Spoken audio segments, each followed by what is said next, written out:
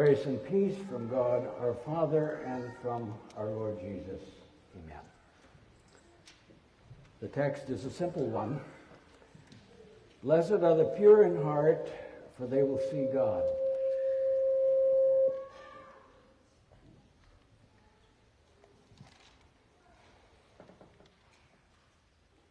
What about Punxsutawney Phil?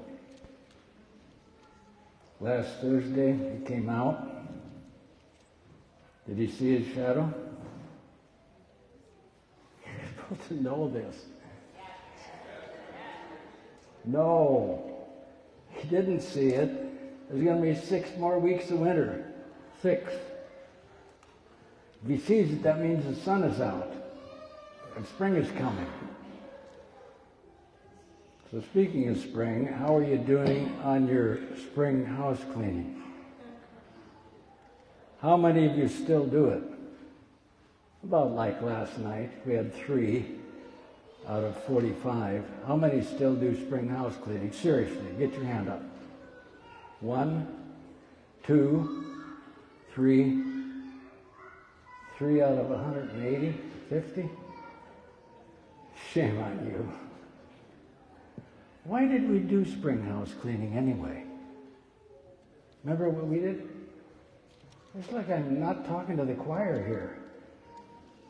You never had the opportunity to take the mattress off, a mattress, and hang it over two clothesline wires so it'd be spread out. Some of you are smiling like you know what I'm talking about. The rest of you are like, duh. And then you took your mother's beater. Remember the beater? What? A rug beater, it's wire, heavy wire shaped like a teardrop. And it's got a wooden handle on it. And you wail on that mattress as hard as you can. I think I was 10 or 11. And your mother's watching from the door. And when you get enough debris floating out of that mattress where you can't see your mother anymore, standing by the door, then you know you're done. You know why you did that? Tell me this. How come after eight years, your mattress weighs six more pounds than it did when you put it down new? What? What's in there? What adds all that weight to it? Your pillow, too, by the way. Ugh. Yeah, you shed skin all the time. And bed mites eat the skin, and the mite manure is in your bed. And it weighs more when you take it to the dump than it did when you bought it. It is impure. Blessed are the pure in heart. That means the clean. You never took out the paper in your shelves and cleaned out the cupboard and the cups and the dishes and put down new paper? How many ever put down newspaper because you couldn't afford to put down shelving paper? Uh-huh. you weren't there in World War II, were you?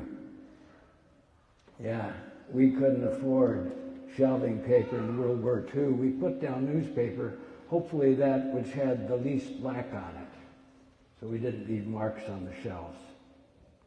Beat the pillows, take down the storm windows and wash them, and put up the screens, and clean the house. My mother said, See if you know the rest of this. Cleanliness is next to. What's that about? What did God mean when He said to His people coming out of Egypt? If you follow my clean laws, then none of the diseases that afflicted you in Egypt and that afflicted the Egyptians will happen to you. And why did he lay down all those rules about blood and sex and childbirth and places for waste and such ordered structure that would keep them clean. We didn't always have antibiotics. We didn't always have fighters that fought against katharos. A katharos is unclean. Blessed are the clean in heart, those who are catharsized, those who've had the bad stuff drained off. Blessed are the clean in heart, in heart, for they will see God. When I was about three or four, I had uh, whooping cough. Ooh, ooh, ooh, cough, just cough awful. They thought I was going to die. And Dr. Heath in Manitowoc, Wisconsin, where my dad was building submarines, my mother was making bolts for the submarines. Dr. Heath said, We've got a new thing called antibiotic, antibacteria. And it's starting to work on the soldiers. When they get wounded in battle, that they don't get infection. Would you want to try it? And every several days they chased me upstairs because I hid behind the pink dresser because I didn't like that shot in my butt. And they gave me a shot in the butt anyway, and I got over the whooping cough because they gave me penicillin, an antibiotic, because the bacteria made me have whooping cough. They say that in the Revolutionary War, seven people died from infection for everyone that died from bullet or bayonet. Same is true in the War of 1812, same is true in the Civil War. I think eight died from infections, every one that died from bullets, because the infections were a catharsis, unclean. Blessed are the clean in heart, for they will see God. So, what's this business of unclean? When did that start anyway?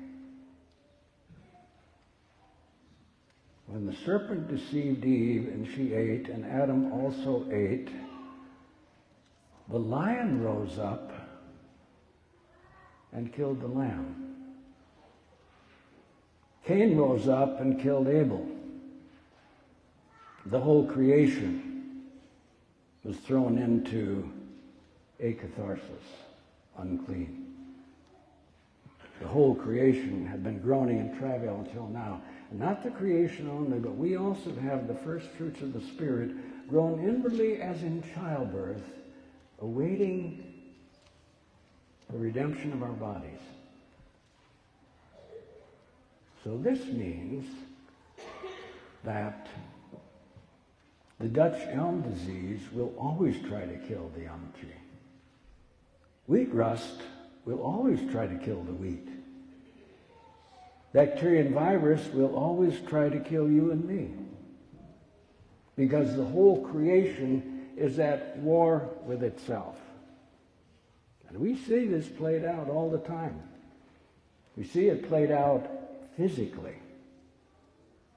We see it played out also emotionally.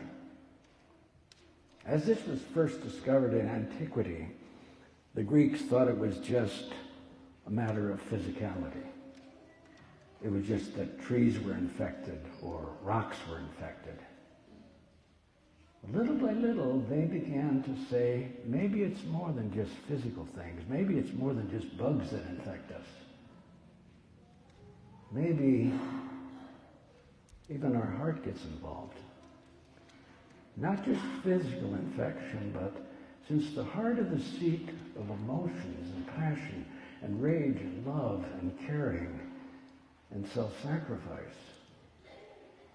Certainly the heart is the seat of possible infections. A while back, I went to the doctor for something else, and he discovered that my heart was beating at 30 beats per minute.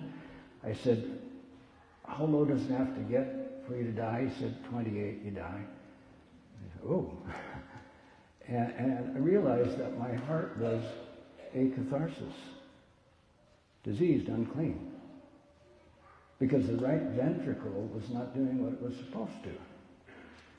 So they put a heart cath in there a cath, a thing that, that tends toward clean, and they forced my heart to beat mechanically. Now, the heart is attached to a lot more than just mechanical beat or blood vascular flow. It's attached to your emotions. It's attached to your state of mind, your wellness, your wholeness. It's attached to your passions. It is even attached to your spirituality. There used to be a guy, now gone to heaven, who came to this altar, the same thing he will do this morning, and from the time he knelt down, he never took his eyes off the cross. And I knew why he did that. Because he wanted to just focus on Jesus. His heart was inclined toward Jesus. When he died, his heart was still inclined toward Jesus. So little by little, society, from ancient until the time of Jesus explained it, was that this blessed are the clean of heart, that they shall see God, is actually more of a spiritual matter than it is of disease. It is of disease, of course. But it morphs into, and the Bible describes it morphing into matter of the heart, from which come all your passions, all your, your, your not just vicarious feelings of love, but your real personal feelings of love. And your care for your kids, your care for your workers, your care for your husband and wife, and the generosity of your spirit that flows from God Himself. Rock of Ages, cleft for me. Moses wanted to see God. Been on the mountain 40 days. Didn't see God. Didn't see God. God fed him. God gave him Ten Commandments. Didn't see God. God put him in the cleft of a rock. Passed by behind him. Moses' face glowed with even the back door view of God. Blessed are the pure in heart for they shall see God. Now, God can take wickedness, bad attitude, sin-filled life, bad turn of events, and turn them to good. He can take an unclean heart and make it clean. Blessed are the clean of heart, for they will get a vision of God give an example of how God takes a bad thing and can turn it into a good thing. In 1936, this is a quiz, who ran fastest of all at the Berlin, Berlin Olympics? Who? Correct, Hunter. Jesse Owens ran faster. You know what Hitler insisted that they play at the 1936 Olympics as he was ramping up his Nazi party? Anybody know that German national anthem? Remember this? Deutschland, Deutschland, über alles, über alles, Deutschland. Deutschland, Deutschland, über alles, über alles in der Land. Turn to hymn number 648 in your hymnal. And see how that wickedness was turned to good. This time you're ready, aren't you?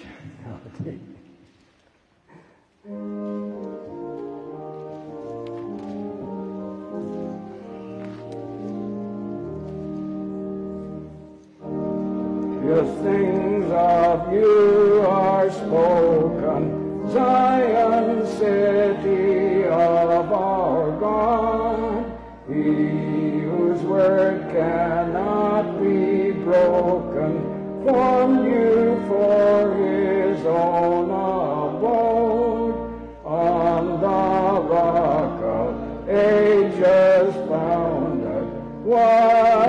shake your sure repose? With salvation's walls surrounded, you may smile at all your foes. Blessed are the pure in heart, for they shall see God. Amen. The peace of God that passes human understanding keep our hearts bound in Christ unto life. Amen.